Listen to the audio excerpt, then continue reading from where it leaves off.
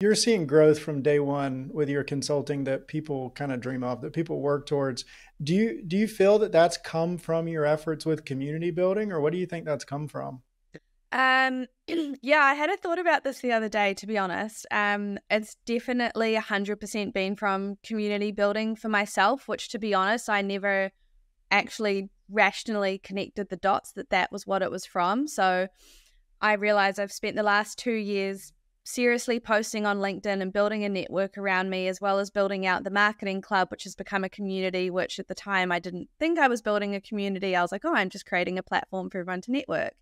And then, you know, it was never really my intention long term to go out on my own. It was sort of just something that I thought about when I was on mental health leave with a bunch of other things going on. And then to be able to essentially, I did one LinkedIn post announcing what I was doing with no idea that that was going to enable me to leverage the network that I've spent the last two years two years building to build my own business. I mean, like the one LinkedIn post I had over 60 or 70 people reach out 50 of them have potentially needed help and that's what's taken me 6 weeks to get through like I've been back to back meetings every single day on top of actually now trying to fit in booked in client work as well and I'm still not even done Mind blown. Um, so, like, there's a glitch in this. I feel like I'm in like a game, and you know, I'm like the character yeah. that's like running against the wall, and I'm like, what is going on? yeah, this is like it's like the it's like real life version of you always see um, cold email agencies or something like we'll get you X amount of book calls a week. What this is like you're actually doing that, and it's just through community. I don't want to say just through community, but it's through community. What what does community look like to you? Like, kind of describe that a little bit before we go into talking about community building. Yeah, I think community for me, I mean, like I always, I always say that your network is your net worth. And I mean, it's a Drake, it's a Drake rap. But honestly, it is so true. Like, I genuinely thought, you know, like, oh, it's just great to connect with people and see what they're up to. And when I started on LinkedIn, it was purely because I felt like I never fit in where I was or like no one around me was anywhere near to where I wanted to be. So I was kind of lacking inspiration of like, where am I going in life? And mm. I joined LinkedIn basically looking at what other people were doing and I was like, oh my God, like that's like dream role or this is how I want to talk about myself or show up.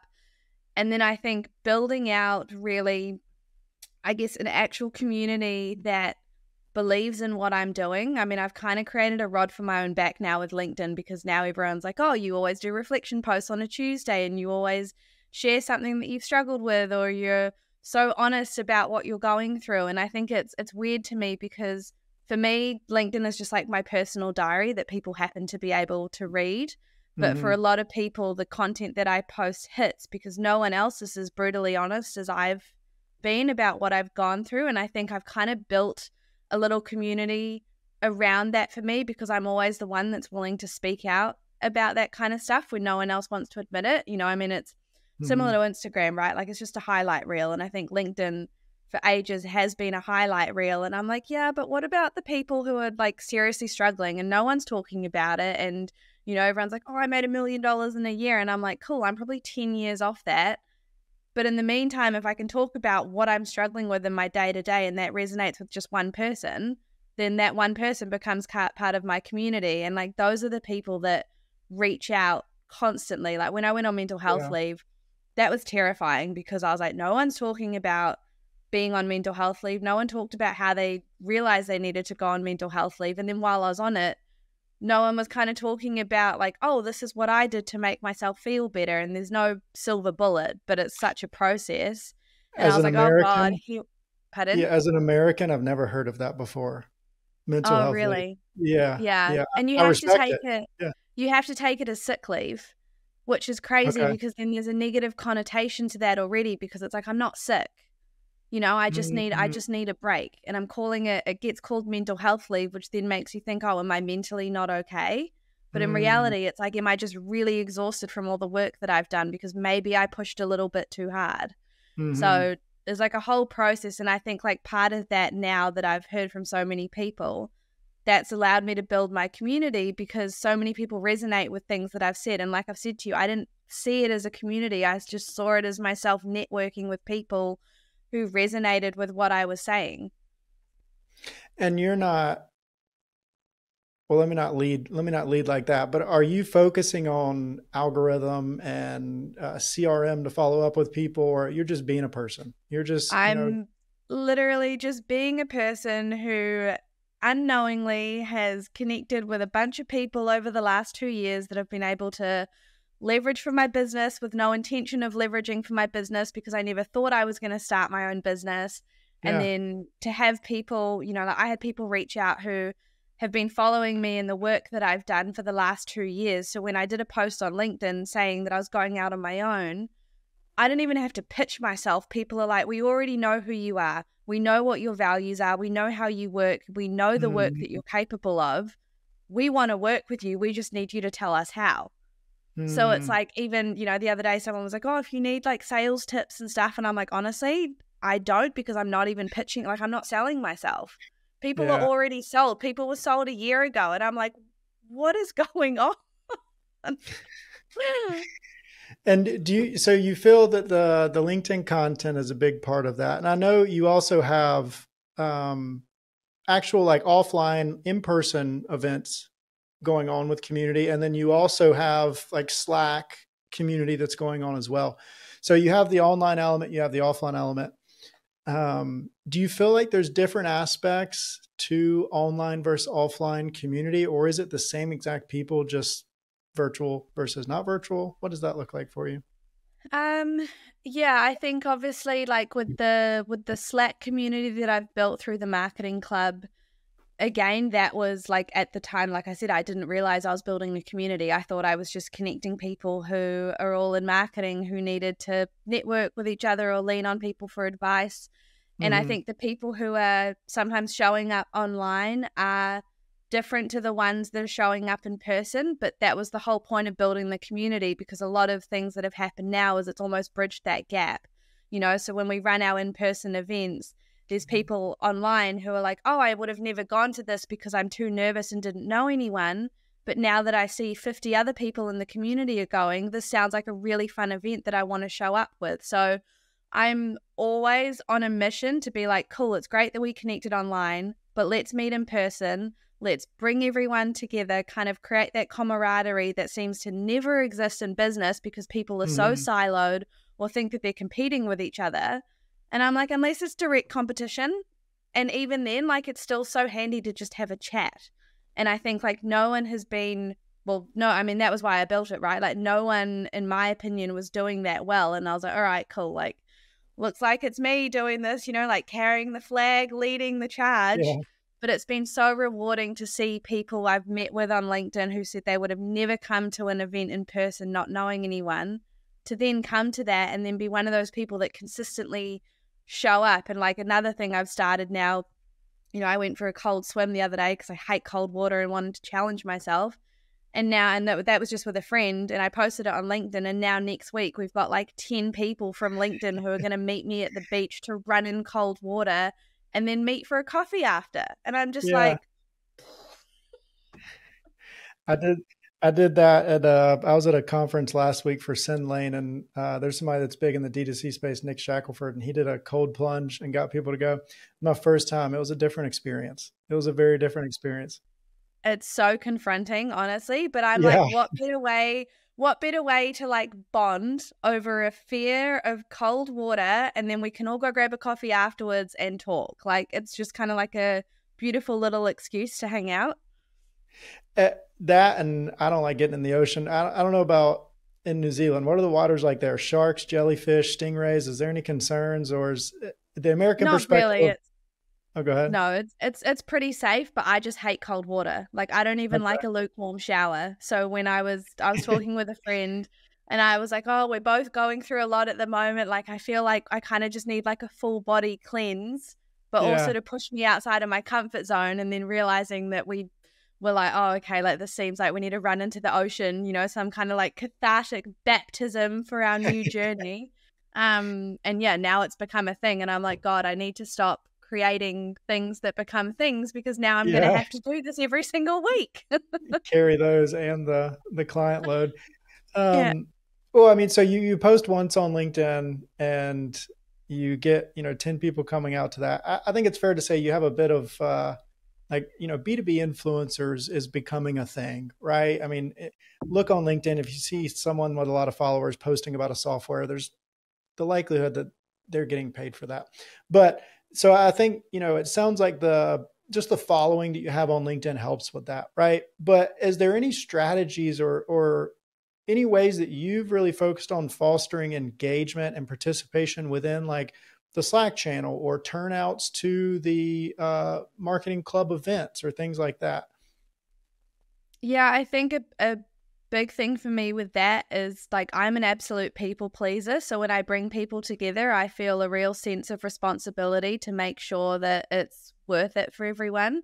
So, I mean, we've done like some of our in person events, we've done speed dating before, which was really cool because it was just a great way, you know, like not romantic speed dating, just like business speed dating and it was a great yeah. way for everyone to connect and introduce and like I didn't get to do it because I miscounted the numbers so I didn't get matched up with someone so I just ran the whole thing but I didn't mind because then at the end of it everyone got to connect and network and I'm always making sure that like that's I'm kind of enabling that because people always I think like I'm very much the weird one for like reaching out to people or sliding into the DMs and whatever and I'm like well I don't mind you know pushing pushing everyone to do that if I can. And if I can bring people together and sort of be the, I guess, be the excuse as to why everyone is there and facilitate the conversation. Like I've kind of just admitted that that's like a hat that I'm going to probably wear for the rest of my life because that's what I'm doing. Um, and same with the Slack community. Like I'm always, you know, it's very much community management more than it is like facilitating certain conversations. But at the same time, I'm always, you know, asking people like what are you working on? How are things going? We have like a wins channel where people share things and i'm always commenting and replying and you know i think just yeah like if, if i'm the excuse that people need to connect with each other or bring people together i've just sort of been like cool this is me. This is I just what it. i'm doing from now on. Yeah and just just facilitating and, and giving instead of just you know hoping that there's a drawback from it or hoping there's a there's a revenue coming in from it i guess is the best way to put it yeah, and I mean the marketing club is free. So there is no I get other than like joy and satisfaction of bringing people together, there is no financial reward for me. And same with like the meetings that I've had with people off LinkedIn, like great if they turn out to be clients, but other than that, like I'm just keen to build out my network because I've learned that you mm-hmm. never know the people who are watching or the people who are listening or talking about you in a room that you're not in. And I'm like, this just feels like the right thing to do. And maybe I should have more of a business strategy or something. But honestly, I'm like the people who are strategic can go and be strategic. I just want to be human. And if it's on a business platform and that's how I stand out, like perfect. That's that's fine for me. I I'm asking all these questions because I'm going to try to mirror what you do because I mean the, the the the concept of posting once and I mean just you know the the engagement the the support everything that you have you get 15 LinkedIn DMs a day selling that hope dream. Uh, so the fact that you've just built it out just by being you, right, is just phenomenal.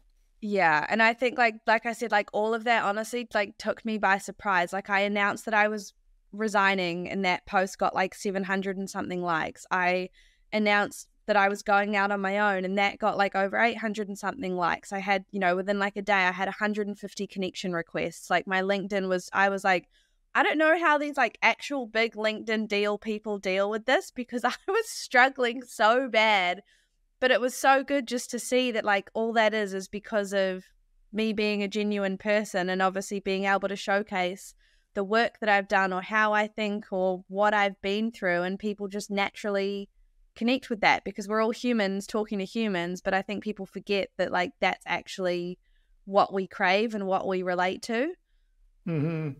Yeah, yeah, and you know, if if somebody's looking to start community, um, is there any like top two or three things that you would say people need to focus on, or maybe not focus on, so that they're not getting too granular on, you know, the end goal and more so just actually build it out? Yeah, I think the biggest thing I always make sure is that there's value right? Like all of us are so time poor, and sometimes I feel a little bit iffy, you know, DMing someone being like, hey, join another Slack group because you're probably yeah. already part of 20. But if you can make sure that joining that group has value, whether it is educational, whether it is just networking, whether it's, you know, allowing people like a big focus this year with the marketing club has been getting uni students involved so we can support up and coming marketers, not just marketing professionals. Because at the moment, a lot of the unis here in New Zealand fall short on preparing uni students for what going out in the real world looks like. And then no one's willing to give them experience if they don't have it. So in That's... my head, I'm like, cool, how can I bridge that gap? You know, is it connecting marketing professionals with uni students who might be able to, you know, create a pathway for internships?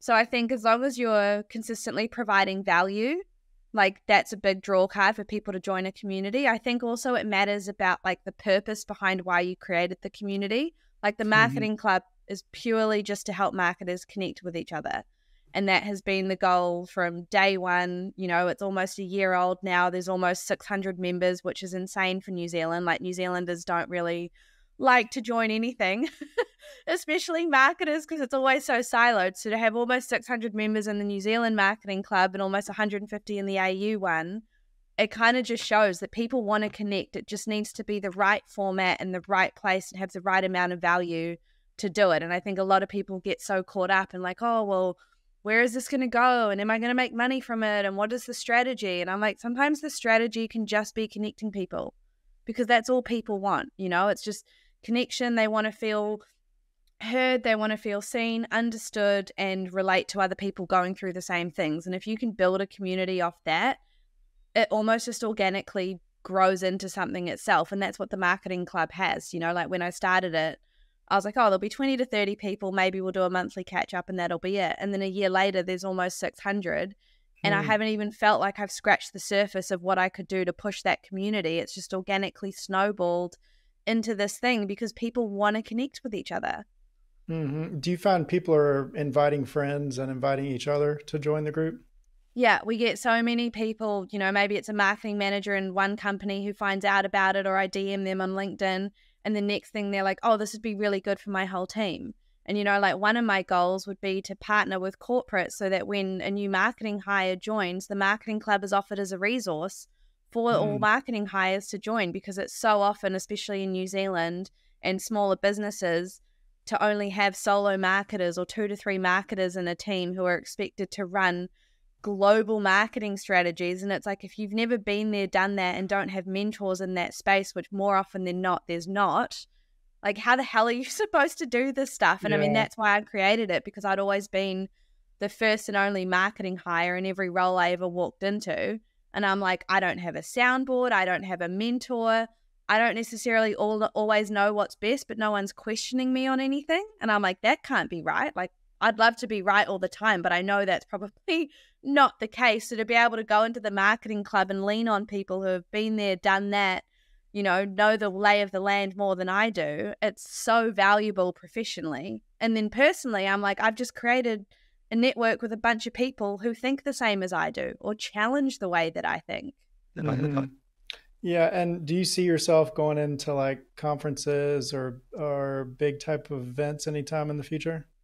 Um, I mean, I've been asked to speak at a few. Public speaking is kind of terrifies me. Um, but I mean, every event that I do, I always end up being the one that has to MC. So I'm like, okay, this is just this is just something that I've built that I'm going to have to live with. Um, and I mean, each time I speak, I get better and better. I think I get quite nervous because I know that I'm quite loud and outgoing. And a lot of events, people are very like, "Oh, this is this is what we're doing," and it's quite robotic. and I get in there and I'm like, "Hey guys, welcome! Like, what's going on?"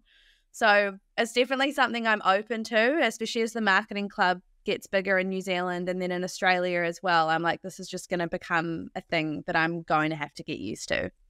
I love it. I love it. Well, look, if you had to summarize everything we've talked about today into a marketing mindset, what mindset should marketers and business owners have when it comes to community? I think the biggest thing would be putting yourself out there first. Like, no one would have joined the marketing club if I hadn't built my personal brand up a little bit first. And I mean, even saying that I have a personal brand feels weird to me because I don't see it as a brand. I just see it as me. But, you know, people consider that a brand. So you kind of have to create yourself first and let people know who you are, what you're doing, what's important before you even have a chance of building a community. And I think, mm-hmm. especially personally, right? Like if you're a brand like Nike, right? If Nike decide to build a community tomorrow that have hundreds of thousands of people begging for an invite, and it's just, you know, like you've already done the work there, but for yourself, you kind of have to see it almost as a business. Like if you don't have brand awareness, no one's going to care and no one's going to join. And I think too, even just starting small, like I said, I thought I'd have 20 to 30 people, and that was okay because if I could give value to 20 or 30 people, that would have been job done for me. And to now think mm-hmm. that I could give value to almost 600 people, I'm like, this is insane. And then, you know, like the beach thing, I go and do that, and suddenly other people want to join in. And I'm like, cool, that was just a weird thing for me to challenge myself. And now other people want to do that too because they see the value in it. So I think just not not getting caught up with how you're going to start. Like a lot of people are like, oh, what's the plan? What's the 10 year goal? Am I going to make money off this? And I'm like, if your intentions are pure and you're doing it for the right reasons, which is pure, which should be to bring value to people, that's good enough. And whether it's only five people or 500, that's good enough. Like I think people need to stop focusing on the numbers because it's if you're genuinely doing it for the right reasons, then the numbers don't matter. You think skydiving's next? You went cold plunge. You think you could get a I, people to skydiving? I honestly joked about this with someone on LinkedIn the other day, and I'm like, oh my god, this is going to be the next thing that snowballs out of control, and I'm going to have to do it. Go for it. I don't know. Is Groupon is Groupon a thing in New Zealand? Yeah, they have Groupon. Okay. I, first I went skydiving, it was a Groupon. Now that makes it sound like it might not be safe, but it was. But uh, go for it. it. It's a it's a crazy time. It'd, it'd be a great marketing tactic for me. yeah, it's like a, a Richard. Uh, what's his name? The Virgin Mobile guy. Uh, uh, Richard Branson. Yeah, it's like something he would do. Yeah. Yeah. I'll, I'll, uh, I'll, have a piece of paper with my LinkedIn QR code. Yeah. yeah. And uh, for anyone listening that's at the stage of figuring out what they'd like to do in the marketing industry, so the the uni students you were talking about, for example, what marketing role or roles do you think will have the highest demand in the next three to five years? Um, I I mean it's it's that can be quite industry specific. I think because I've been in FMCG for the last 18 months to two years, I think I definitely see so much growth in that area because they are so diverse in that industry. Um, I think too, there's so much that can be applied in that industry that can then translate to other industries, which is something I never expected. I mean, I never had FMCG experience before I started at Arepa. And then now that I've had it, I'm like, oh my God, I wish I'd almost started with this because then every role if I could have reversed my career and had every role after that, I still would have known what I was doing. Whereas to kind of come in at the back end of it and try figure it out, it still worked because I was applying all my other marketing experience, but it was just interesting kind of feeling like for the first time in my career that I was thrown into this whole new world that I didn't really understand. Mm. So I think, yeah, any kind of any role like that that deals with a physical product or service, I think is such good experience to get in marketing because it's not just then you know doing copy or doing ads or building a website. It's like you're dealing with customers you're dealing with relationships you're dealing with brand awareness. Like there's so many avenues within the, those marketing initiatives that help you become a better marketer and then help you become more on demand. Like i never never assumed that the things that i've learned in fmcg would be so transferable now in other industries as well, but people have seen that and been like, oh, well, if you can do that for Arepa, you can 100% do what we want, like no stress. Mm. You know, you can probably do it with your eyes closed. And I'm like, ah, oh, like we'll see. But, you know, it's just, it's been so helpful and I've grown so much and understand now all types of marketing you know like i i get the traditional i get b2b i get b2c i get d2c i get fmcg i get saas i get product like it's just given me yeah such the a mindset. good understanding of what I'm doing and knowing being able to go into those conversations and being like, cool, if we're physically trying to attract people, what does that look like? Is it an event? Is it community? Or if we're online, what does that look like? Or what does digital look like? Or what is the tangible outcome of that? So, yeah. I love it. You, you got the marketing mindset, little shameless plug there. And then, and then it, fed into it. Yeah, boom, boom. Uh, and last question for you: Where can listeners connect with you and learn more about uh, yourself and your consulting?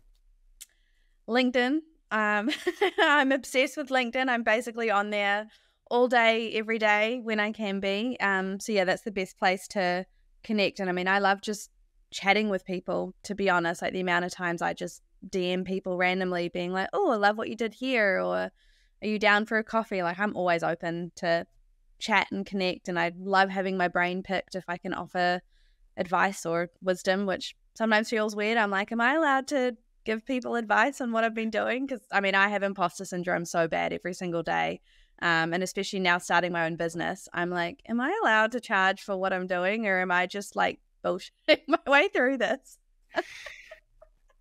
well, you're you're doing amazing. Um, you're you're kicking butt with the the lead generation better than most agencies that have been around for five plus years. So awesome to see yeah, that.